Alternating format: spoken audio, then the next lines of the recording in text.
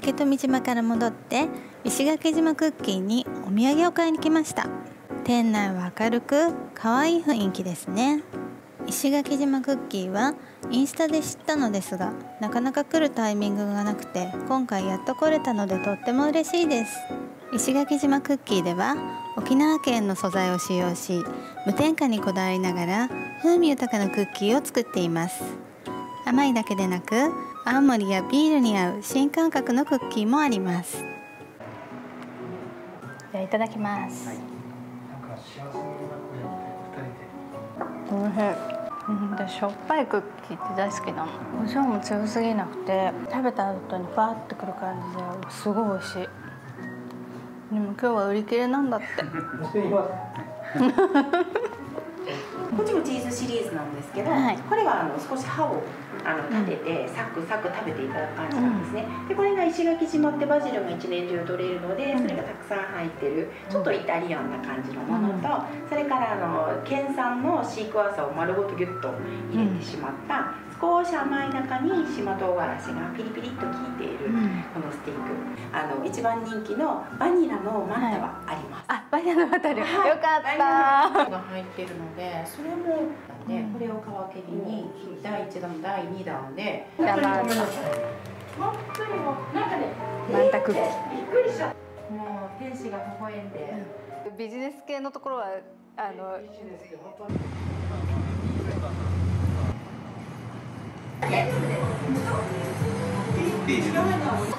いや売れた分もう注文するんですよ。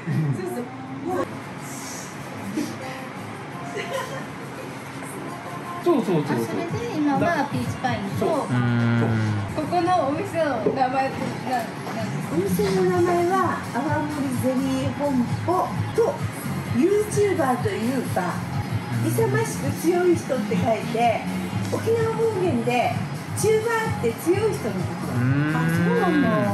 当て字みたい。YouTuber なと YouTuber そのと YouTuber を泡盛ゼリーこれがピーチパイ。ン。ちょっと小ぶりなんだけど、これがこの真っ白なの中が。実は西表で食べた買いました。美味しいでしょ。美味しかった。です美味しかった。甘かった。石垣ではうちしか作ってない。そうなんですか。そう。なんですここまでは飲めない。わかりました。それを言います。よろしくえいつまででももう終わりです。年中ある。年中。あのね、契約農家さんのおじいおじいから完熟を持ってきてもらって、冷凍するから一年中あの冷凍するとね甘みが出るん冷凍した方が美味しい。オッケー。はい、皆さんこんばんは。今日はね、あの石垣に来ていただいたっていうことで、せんべろを始めたので、はい。フルーツジュースもめっちゃ美味しいのがあるので、ぜひ飲んでいただきたいと思います。はい。石垣にお口のタイは泡盛ゼリー本舗の YouTuber はい。に来てください。遊びに来てください。待ってまーす。美味しいお酒いっぱいあるからね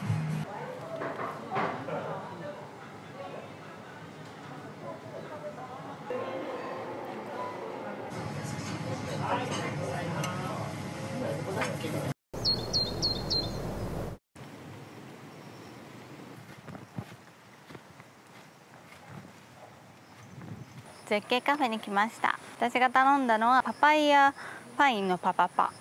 で慎吾さんが頼んだのはマンゴーミルク。じゃあマンゴーミルクからいただきます、嘘だよ。パパイヤ。パパイヤ久しぶり。これシェイクなのかな？うん。あ結構パイン強めだわ。美味しい。めっちゃ美味しい。どう？この景色。絶景でしょ、絶景。ここすごいいいね。混んでないし、ちょ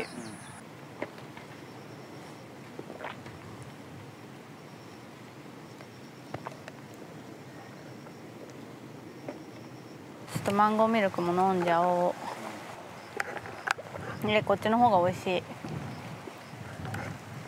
あでもどうかな。こっちの方が味は濃いな。薄く感じちゃう、うん、でも味は美味しい。野原岬観光農園絶景カフェ。ぜひおすすめです。最終日のランチはコーヒー店に来ました。注文したのは甘辛味噌そばの大です。こちらは沖縄ライフのぞみ Vlog でおなじみのひろみさんおすすめの一品。ピリ辛のスープに麺が絡みフーチバーがいいアクセントになってとても美味しかったです。2年ぶりにコーヒー亭に来ました。前回はコーヒーの勉強を始めたてだったので100%石垣島産コーヒーやいまを飲みたくて来店し社長とお話しさせていただきました。社長は一度来店されたお客さんの顔をみんな覚えてるとのことで初来店の方が甘辛味噌そばの軟骨のせを注文すると YouTube を見て来られたんだなと思うとのことでした。私も2年ぶりでしたが覚えていていただいて光栄です。なおランチ時には食事をされた方はサービスで社長自ら与那国自慢サンゴで焙煎したコーヒーを飲むことができます。石垣ドライブ気分。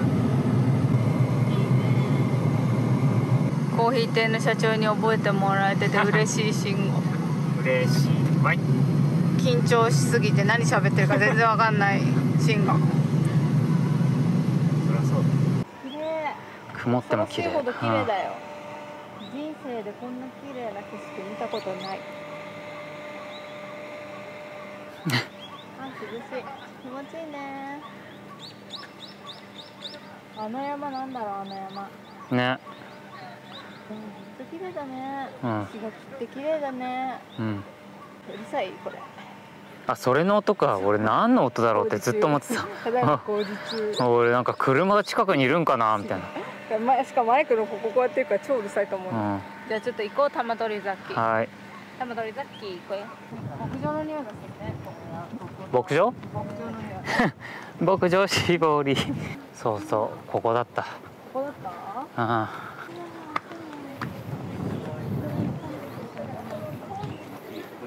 見てめっちゃ綺麗だからすごいね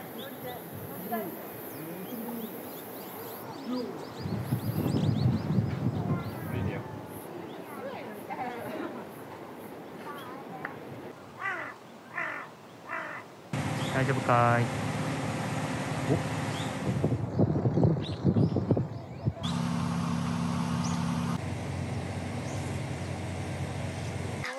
ずいぶんジャン。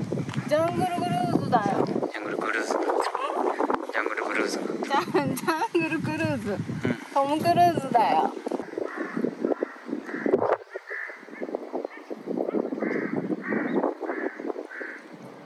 なんだなんだ白いの？ああ。紙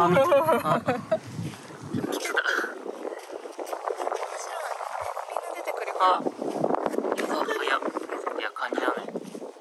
早っちあっちほら出てるいっぱいあすごい。ほらえっていうかすごい。何これ？映ってわかんない。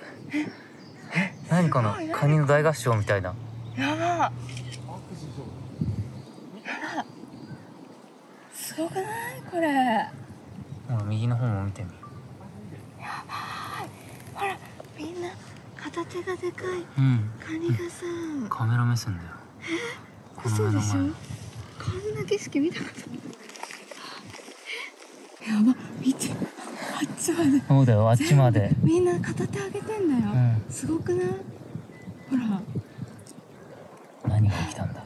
こんなことってなんか時間になるとみんななんか準備運動始めてんの？これ満潮前。回してんの手。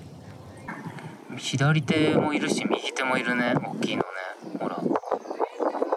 あの大きい。あすごい。わさわさわさって。引っ込んでっちゃ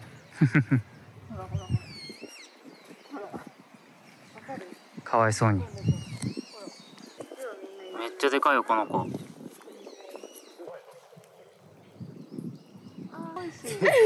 カニやばいですよね。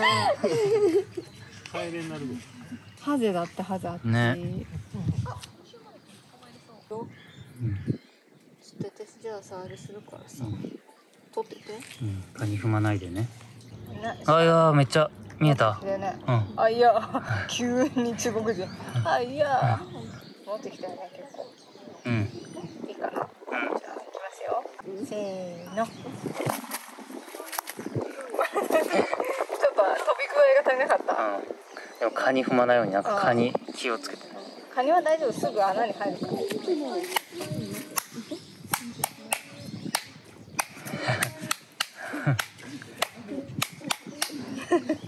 ダメだ。あっちなんだね、うん。めっちゃよかったね、うん。来てよかった。本当だね。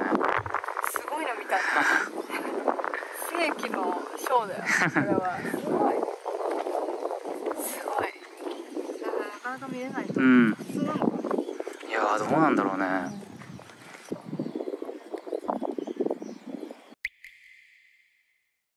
ラグズコーヒー毎回飛行機乗る前は石垣ではラグズコーヒ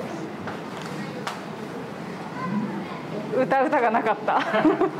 北海道じゃないからグレーじゃない。石垣といえば？美人じゃない。美人か夏川り四万十の歌から。いやささちょっとね周りに人がいるんであの小声にしました。ピーチ乗るからさピンクのマスクにすればよかった。紫にしちゃった。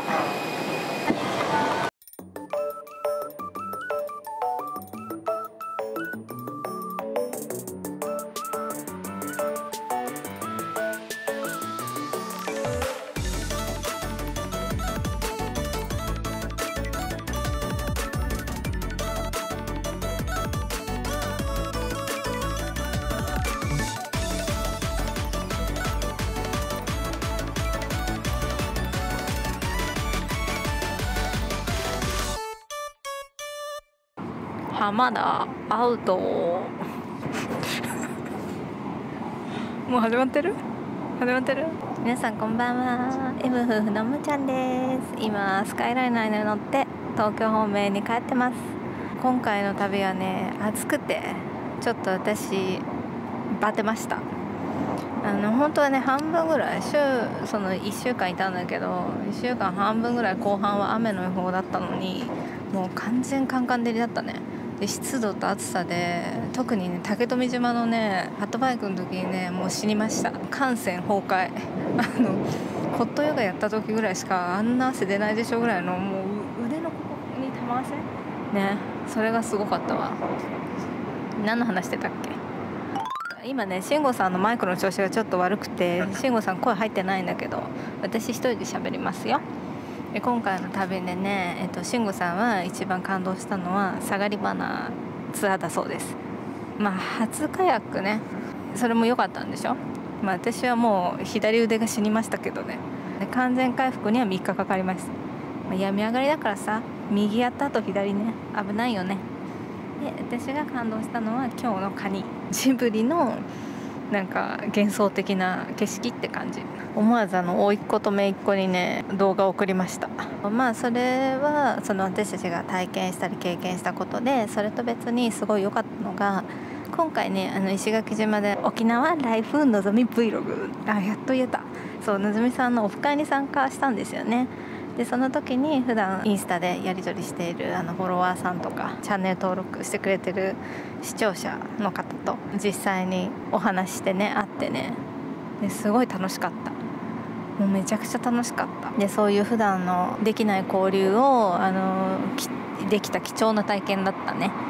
であとそれと別に個人的に私たちあの観光地うろうろしてたら普段見てます。